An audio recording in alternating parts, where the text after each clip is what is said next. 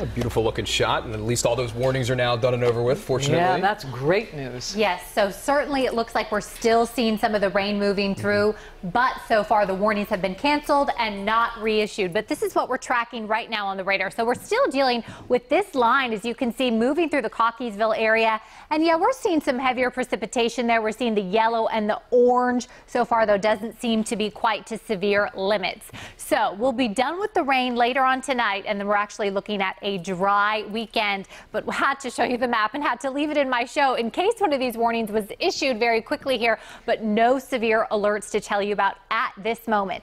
Thank you to our weather watchers. So we're seeing readings here in the mid to upper 50s. Remember, just an hour ago, these numbers were in the low to mid 60s. At BWI, we hit a high of 63 degrees right around 2.30, and then we have the winter solstice at 5.23 this evening. So it is officially winter here, and temperatures, let's see, 59 degrees. This is from our friend Stephen in Perry Hall. Cloudy for you now. So the clouds, though, they're slowly but surely going to clear on out of here tonight into tomorrow morning. One more here, 46. This is from our friend Ron in Ellicott City, tracking a few showers as of 15 minutes ago.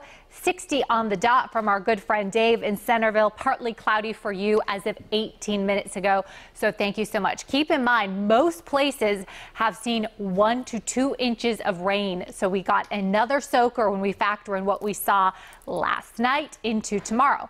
Temperatures here, BWI, we are at 58 degrees. Annapolis, you're a few degrees cooler than that.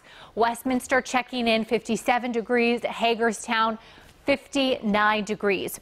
As for those winds, well, it depends on where you are. So this is a great way to track a cold front here because you'll notice these areas seeing the winds out of the south. Obviously, the cold front has not moved through yet.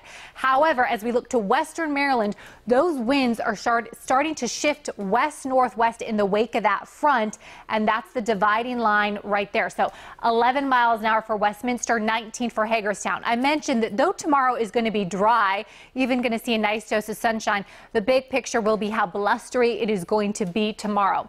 Let's use the Futurecast to time out where we go from here. So as we walk through the rest of our Friday evening, we don't see the rain clearing out until late tonight. What we see clearing out overnight is the clouds. So I think tomorrow we're going to end up seeing a nice dose of sunshine. So here we are as we move through the day on Saturday. Not much at all to show you.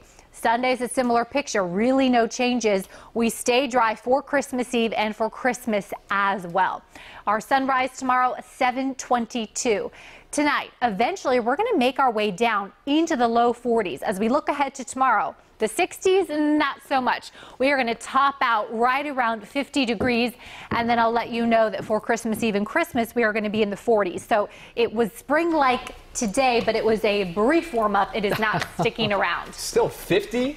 Yes. That's not bad for, the, Nothing for to complain time. about, for sure. Absolutely. Thank you, Meg.